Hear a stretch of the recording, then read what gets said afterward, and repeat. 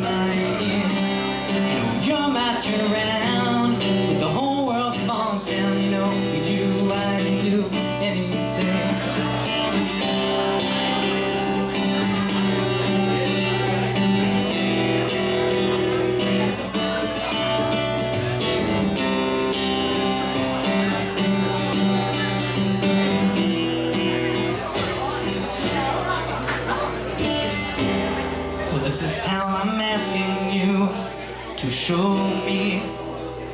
somewhere you still care?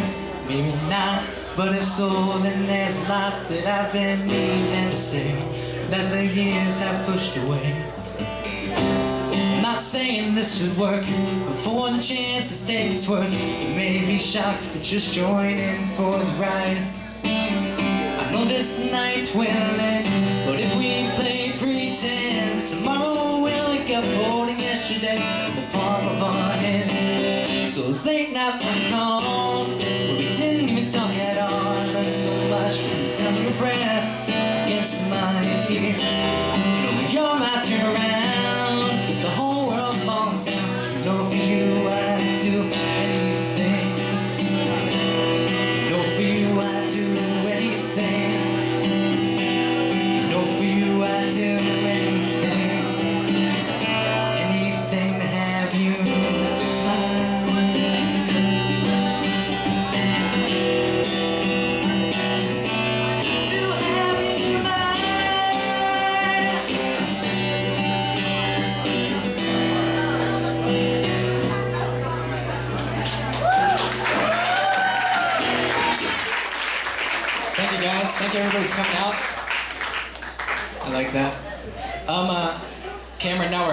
we, we prepared a short little video for everybody, um, kind of documenting some of the stuff that we've been through the last few months.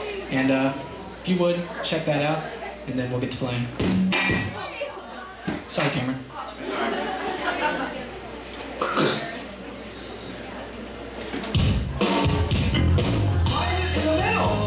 surprise.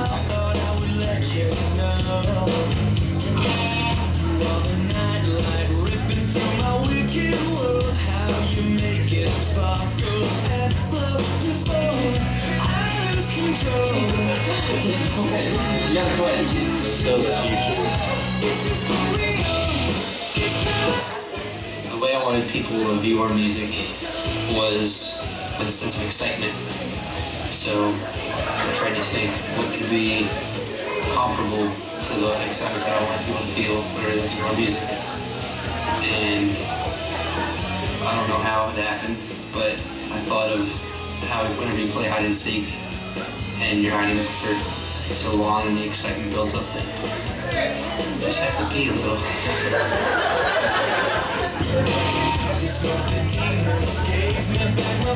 Well, oh wait, right? 2008. We all uh, we all got together for. I think Ross got some stuff for Christmas, so we were like, hey, we should probably record some music if we just have a good time. We ended up getting together and really, really liked the sound that we were getting and decided to keep playing together. And um, then eventually, you know, asked Mitch to join, and then later down the road, asked Ben to join. But it was it was kind of neat because um, we were all kind of experimenting with new instruments. Uh, all of us, Mitch, Ryan, Corey, myself, marched drumline, and drums were our primary instrument. And obviously, the only one to stick to that was Mitch. And Corey had gone to keyboards, Ryan had gone to bass, and um, I had gone to guitar and vocals. And we were like, this is this is some pretty sweet stuff. Ross and I actually jumped up and down like little girls. It was out of, out of control.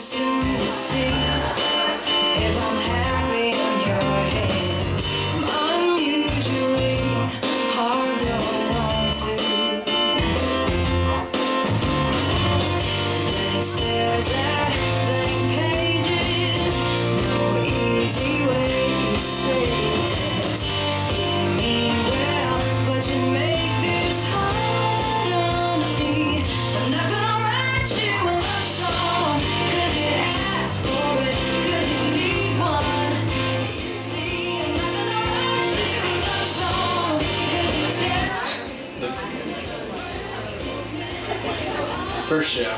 Oh boy.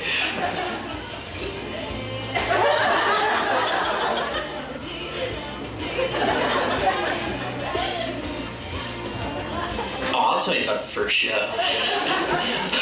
Um, the first show was Julia Gabriel's 15th birthday party. Um, she'd asked us to play, and we actually played with one of our friends on guitar, Chris Fagali. Um, and it, I, I don't even know how to describe it, but um, it wasn't good. It, wasn't too good. What we did was we, we scrambled together and tried to get as many songs as possible. We actually wrote a, one right before and one during a concert, and it's on the new album. It's called Walking for the Door, and we actually wrote that. Like we had an intermission in the middle of that concert, and we wrote that. But anyway, that concert, the worst experience of. Well, no, I can't say that because I I had this one concert at uh, UHS Cabaret, which was horrible, but that's a different story. But this, but yeah, this first show was pretty spectacular. We uh, we were not prepared. We we pretty much made ourselves look like a bunch of idiots. Uh, I'm sure it didn't go anything like any of us expected it to. we were all so hyped up and things just didn't go the way they should have. it was fun.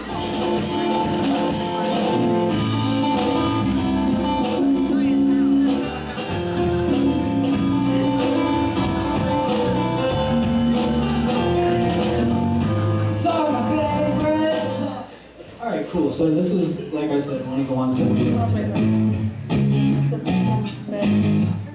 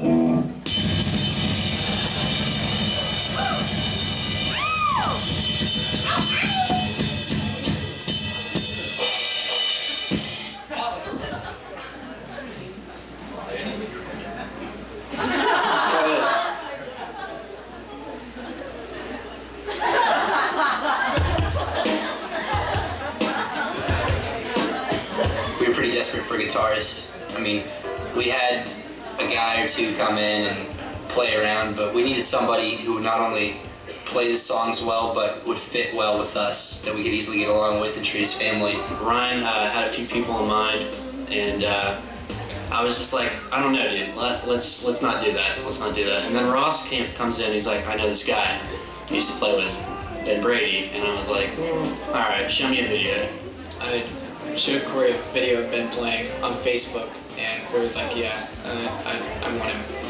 And so they just kind of made a phone call, and he came in and played for a little while, and uh, he had fun. We had fun. It was a great time. Um, but yeah, it definitely had an impact on the band. Had a great impact on the band. First meeting guy, I loved him. You know, I s- of course I still love him. I, it's not like I don't love him anymore. Uh, Ross and I, uh, we knew each other from middle school, and when he asked me to join, I mean, I definitely wanted to. There were a few other things I was involved with at the time, but I mean, I was freed up, and right, as soon as I was freed up, I definitely wanted to be involved. And I mean, the first few times when I was at practice, it was definitely intimidating. You know, joining a group of four other guys that had already been together for a while, writing their own music, and uh, definitely they're all drummers. I'm the only one that's not. So rhythmically, I'm not as good as them. So it's pretty intimidating. I fell in love with them. Show, us and uh, our good friends Eric goes to Germany. It was for uh, it was a fundraiser for one of the I think one of the clubs at MHS, but that was to this day my favorite show because it was like nobody expected us I don't think to to come out like we did. And of course we're miles better than that now, but at the time that just that was our best show and our first show actually as a whole band. And uh, the best part was we started playing Burden, uh, which was on one day, and they all brought out their cell phones and the crowd started singing during late night festivals and it was one of those moments where you're just like, wow, is this really happening? So I'll never forget that. Uh, the writing for Ready or Not actually, it was as right as I joined. I think New Year's had already started to be written, and I came in and they kind of played me through their first you know time through, and I mean, it sounded awesome already. And I remember Ross told me I actually had to sing in it. I'm nervous. What was the question? Uh, writing for the new album began actually pretty much as soon as one day production wrapped up. What was the question?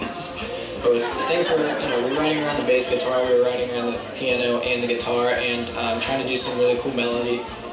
I think by June, no, in June, we had, it was either June or beginning of July, we had just um, finished On Your Mind, which is the last song we wrote. I feel like this is all stuff that should be on Wikipedia. And I should know this.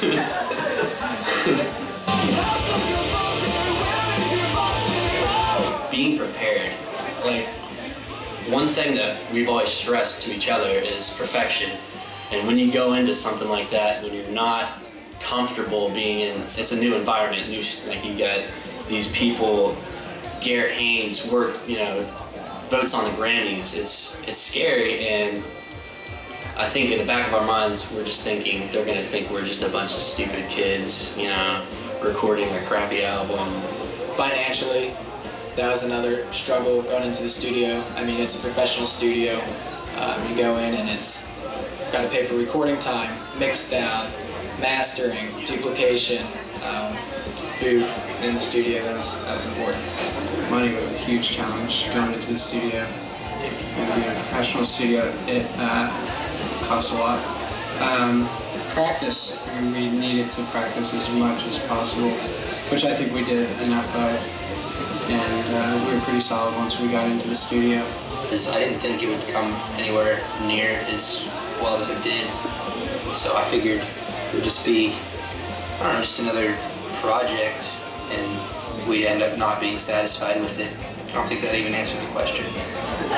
Came nowhere.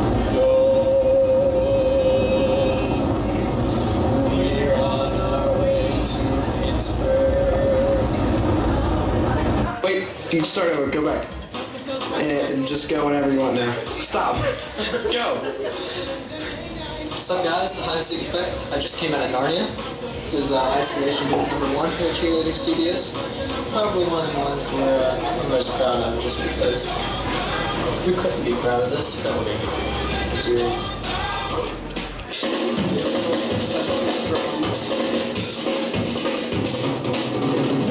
If there's anything wrong, I'll have to fix it. It'll be fine. They're drones, you hit them. Unless you light them on fire. Thanks to Hannah, we have like a million pepperoni rolls. They're delicious. Dave,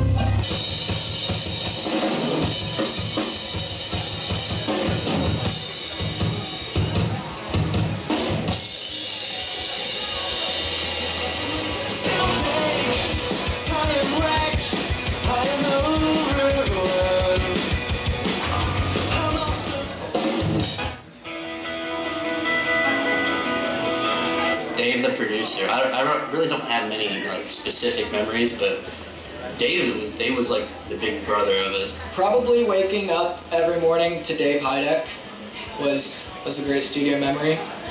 Um, he greeted everybody with a little catchphrase, "Hello there, little buddy," and he was little one himself. And it's not often that I can say that about people, so that's really cool that I can say that. Mitch and somebody went to McDonald's and got like 20 McDoubles. that was that was fantastic. One of my favorite memories of the studio it was um, whenever we got down to recording our vocals. We wanted to focus more on harmonies this time around. So um, we had Ross, who, I mean, he sings, he can throw down like nothing. Corey, he's got so much musical background, it's easy for him. And there's Ben, who's in theater, who could who sings all the time. And then there was Ryan. I mean, he he tried, but sitting in the booth, listening to him go, hi, uh, hi, uh. it's, it's pretty hilarious. Granted, I probably couldn't do better, but I'm not jumping up there volunteering myself.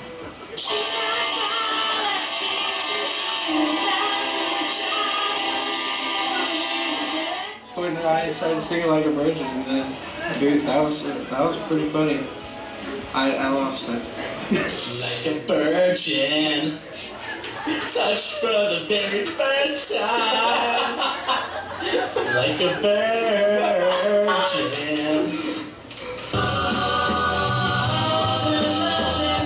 You have the voice of Michael Bolton.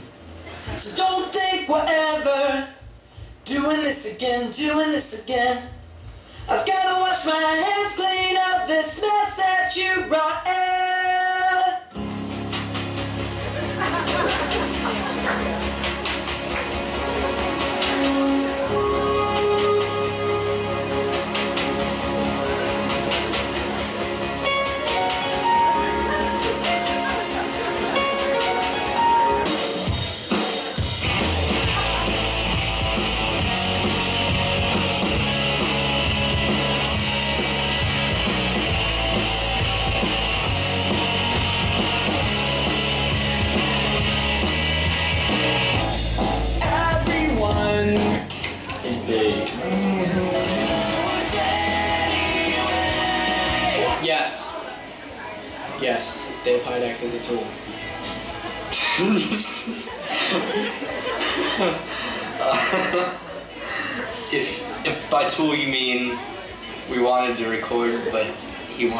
To watch and the Penguins win over and over again, then yes, he was a tool. All old buildings should be left up so that in like hundreds of years when humans or like know humans as we know them are gone, like new humans or aliens be like, oh look at these sweet like ruins. So that's not gonna happen. No. They go to the room and it's just like What would they think about the Melanaria? Let's say like look this is a spaceship. Dave Hydeck is such a tool. He is the largest tool in the tool. Dave Hydeck is a tool. Yeah, he definitely is.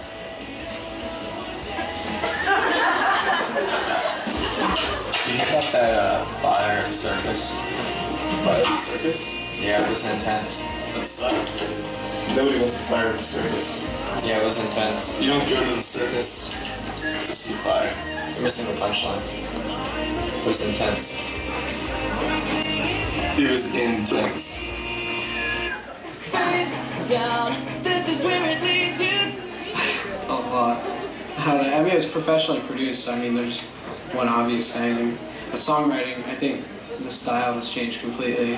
I mean, guitar parts were added, like, you know, real guitar parts, you know, before it was kind of rhythm and stuff. And one day, and Ready or Not, there's, I don't know, it's more specific and, I don't know, intricate. Some of the ideas are for that CD. Know, it's more clever and marketable. One day was angry, I think. I, one thing I stressed to Ross, I was like, you know, angry songs, we're comfortable with that. I think we can do that. Let's, let's, we should probably move into the uncomfortable uh, part of songwriting for us. The, the new album is more of an optimistic standpoint. Corey kind of came up to me and uh, told me that I needed to start writing stuff that was more about getting the girls and not pushing them away. So we, we started writing some uh, happier songs, some more optimistic songs, some love songs, stuff you typically hear on the radio, since that's what we're, we're pretty much going for in this stage of our careers. Uh, some of the main differences between One Day and Ready or Not, definitely the production quality, for sure. I mean, with Ready or Not, we, I think we can have a we have a very legitimate chance of giving it to a radio station and saying, hey, this is us. It'd be nice to hear us on your radio show or something. Well, this is pretty nice. We're just gonna put this in for you and then play it. Friends at all times is uh, a huge frustration just because sometimes, you know, one person might say something and just kind of gets to you, but when you learn to just let it go. uh, understanding. Nobody, nobody wants to. I mean, it's cool if you're on the outside looking and you're like, oh, that kid, he's gonna, you know, try to be a rock star. Hey, go get him, Tiger. You know. But when, when you get someone that's emotionally attached to you and they're like, and you're like, hey, I wanna, I wanna be a rock star, and it's hard to take that seriously. Acceptance really, I guess, shouldn't matter, but it, it is something, it's a frustration of being in a band, um, especially trying to be in a pop band in Morgantown, West Virginia. The pants. I mean, I, I, I like having some room to walk around in and, and twist and dance and jump. Mostly just walk, but with the pants, things aren't as easy as they should be. Well, uh, it was pretty sweet to be able to do a show at Scissor because it's kind of like that homey, you know, small environment, but you know, it's not so small where it's cramped. I mean, it might be out, but uh, kind. It was awesome because Cameron has kind of supported us since the beginning. Zoom, when he had only heard a few of our you know, songs from the first CD, we were like, "Hey, can we get a show?" We showed like left a note. She was like, "Yeah, I love it," and he came and uh, let us do a show there. So he's really supported us along with everyone else at SZA. So it's awesome working with him.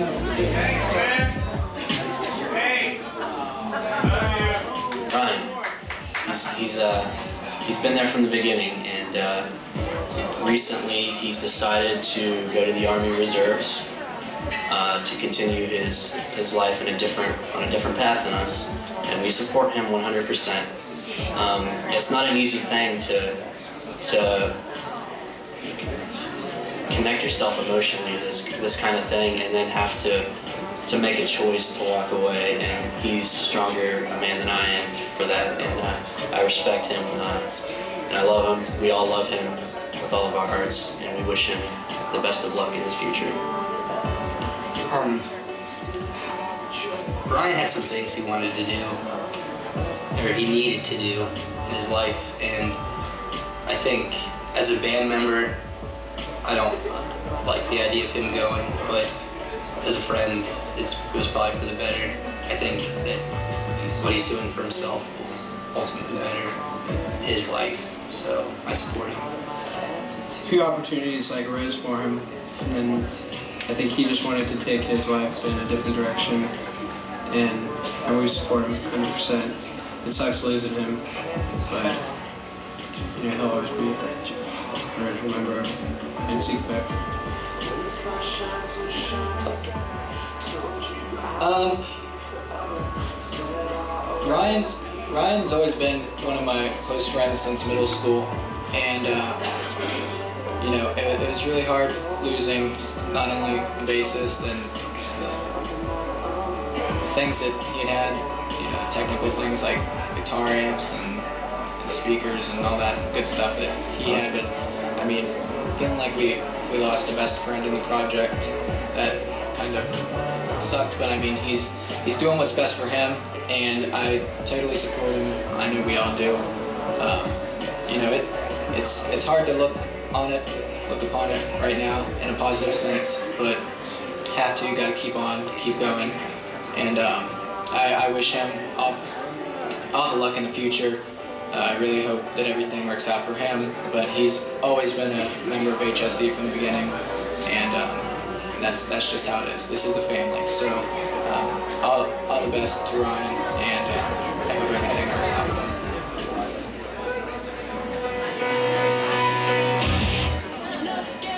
Sign, baby. uh, hopefully, uh, a summer tour would be awesome. This summer, go out, California, hit all the different corners of the United States. You know, 100%. Go around and music for anyone that has ears. That was awesome.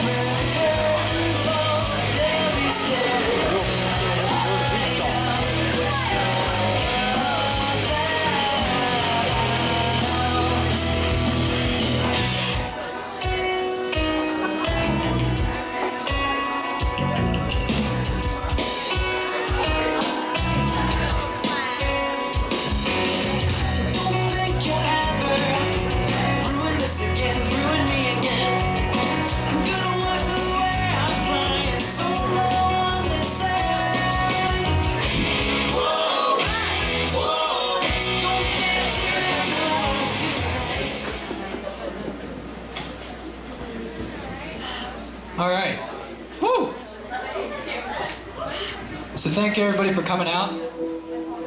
How many people is this their first uh, hide and seek effect show? Real quick, just so we know. That's a pretty good number.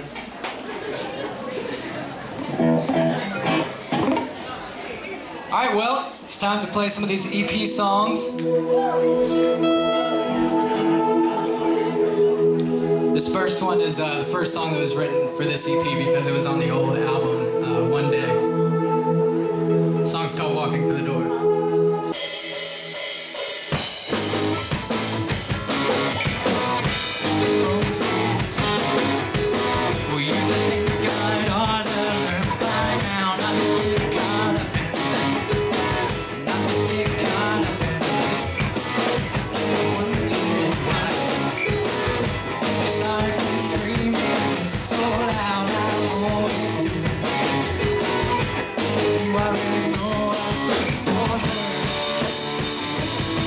she's walking for